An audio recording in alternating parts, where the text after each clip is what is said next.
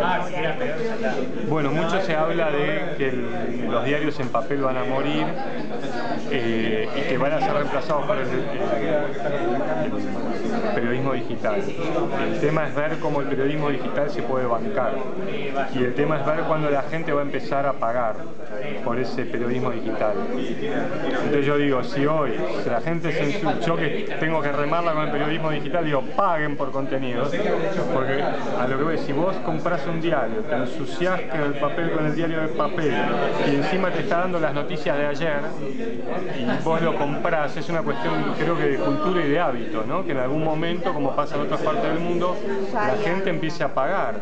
¿Ya en Estados Unidos hay Sí, en Estados Unidos, en Gran Bretaña, hay diarios grandes que lo cerramos y cobramos. Es el gran tema. Este, ojalá que empecemos a pagar. ¿Cómo ¿Eh? pensás que es el camino de los pequeños periodistas que no han pasado por los medios hegemónicos? Porque, por ejemplo, en tu caso la gente ya te conoce, pero los que empiezan por medio digital. Que hoy tenés la posibilidad de vos quizás meterla a ser un blogger y que tengas más visitas de las que tengo yo con una mínima estructura. Es, depende de lo que escribas, cómo te muevas, cómo aproveches las redes. Me parece que va mucho por ahí.